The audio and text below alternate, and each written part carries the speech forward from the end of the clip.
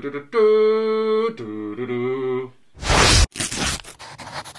Hello, ladies and gentlemen, welcome to another video. I've not done this type of introduction for quite a while, so here I am back um, mumbling and bumbling about crap. Good memories of mine were watching and adoring and falling in love with Indiana Jones. It was uh, one of my dad's favourite films we used to watch all the time. Indiana Jones was something that's carried with me since I was a kid. Uh, you know, you have those things that imprint on your psyche, your postmodern psyche, your popular culture psyche, and they're very precious to you. That's why I think people like me from my generation were really hurt and disgusted when Crystal Skulls came out because it was a piece of shit. Now, one of my best memories was getting my Nintendo Entertainment System. Now, I was fortunate enough to have the one that came with the Zapper, the, the gun, um, and Duck Hunt and Mario.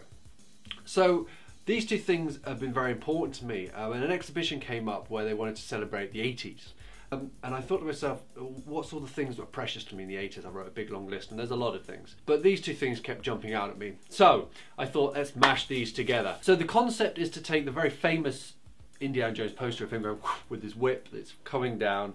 Um, and then replacing the whip with the zapper. Uh, and then instead of the uh, whip coming down around Indy, it'll be the cord from the uh, zapper, the little plug on the end. So it'll be holding up the zapper. Uh, the zapper will be the, the, the red version. I had the red version as a kid. I know there's the grey version. I don't know if that was an earlier version or that was a version that came out in America. I'm not really sure. I had the red one, so the red one's the one that's important to me. So please enjoy Indy Nintendo Jones, Nintendo Jones, Nintendo Jones. I don't know what I fucking call it. Don't know ideas. Let me know.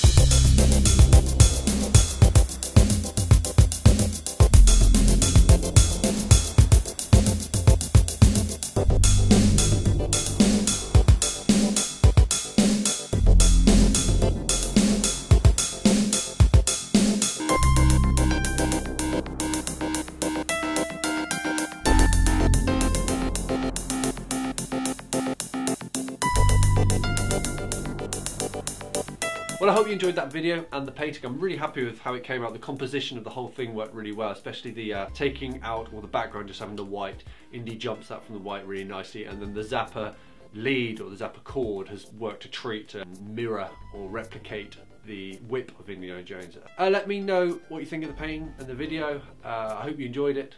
Uh, give me any more suggestions for mashups we could do. Um, please subscribe, of course. Uh, for those who have subscribed, thank you very much for subscribing and commenting. It's so nice when you do, so please keep it up. I shall see you next week in another video, video, video, video. Bye.